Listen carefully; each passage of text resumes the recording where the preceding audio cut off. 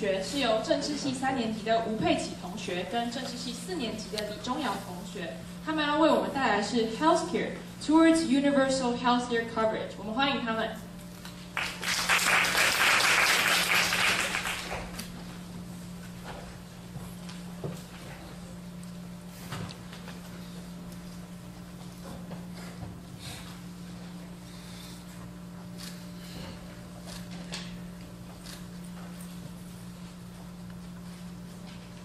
Tom and Renee were a happy young couple with three children, nine, eight, and six years old. Everything was perfect until until Renee was diagnosed with stage four colon cancer. To make the situation even worse, she did not have health insurance at the time. Sick and shocked, she still had to worry about her family's financial conditions. With every scan, every chemotherapy, every surgery, they were crushed, crushed by medical bills. Tragedies like this occur in different parts of the world every day, but not here, not in Taiwan, owing to our universal healthcare system. Hi, my name is Stanley, and this is my partner Peggy. Good evening, everyone. Today we're going to talk about healthcare. So, as the story that Stanley has just delivered to you, you might not have known that healthcare actually takes care of everything in our lives. So now we're going to talk about some facts that about healthcare. So actually, that healthcare is not only beneficial to our public health, but also to fighting against the poverty. Studies have shown that healthcare coverage could result in better life expectancy or lower child mortality rate. Since that the uninsured are more vulnerable to the health-related financial shocks. Without an insurance, one can go below poverty line or even go bankrupt once he or she falls ill. Not to mention that poverty could lead to a lot more social problems. In Taiwan, before the Health, National Health Insurance Act of 1995 were enacted, before the National Health Insurance Act were enacted in 1995, 40.1% of Taiwanese were uninsured, only six years after the law came into effect. The coverage rate had dropped dramatically to the low 3% in 2001. This healthcare insurance has given all nationals equal access to healthcare. In this system, everyone can choose his or her doctors freely, and everyone can, can give, choose his or her doctors freely, and everyone can give, is given the best access to the best doctors in the nation. Interestingly, the huge expansion in healthcare coverage barely led to any increase in overall healthcare spending.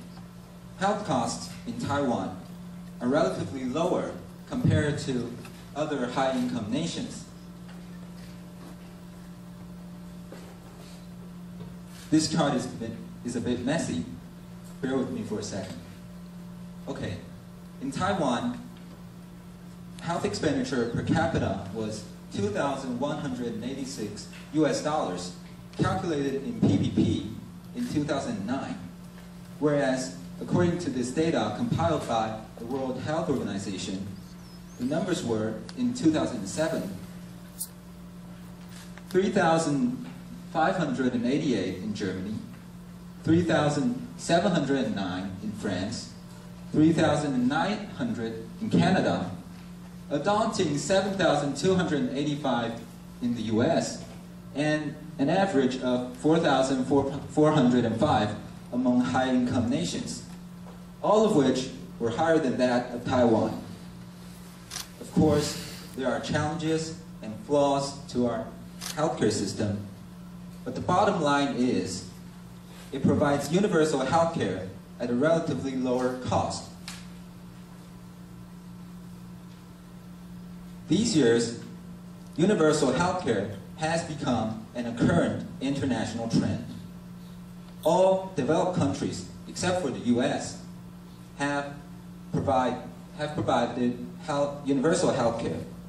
Developing countries have also been moving in the same direction.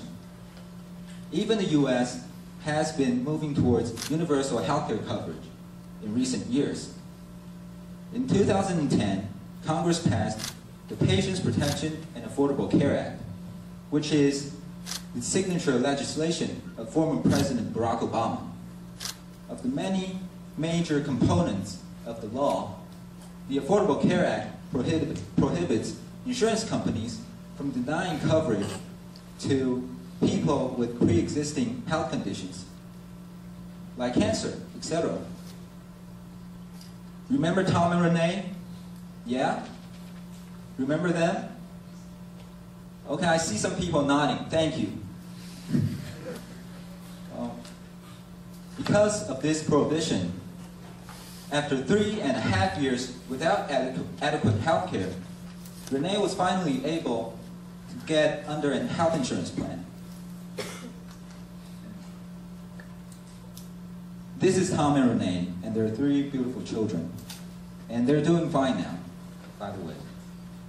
Overall, the uninsured rate in the US has plummeted from 18.2% in 2010 to 10.3% in 2016. It means that 20 million more Americans, people like Renee, has been able to get health insurance because of this law. And it's not only about 20 million individuals, it's about 20 million families, families like Renee's. Although 10.3% is still a long way to go, the U.S. has indeed been moving fast towards universal healthcare coverage.